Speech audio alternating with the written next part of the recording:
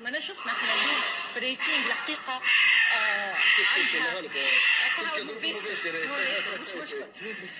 دونك اليوم شفنا الترتيب الجامعات آه، معناتها في المجال الدوليه آه، اليوم تونس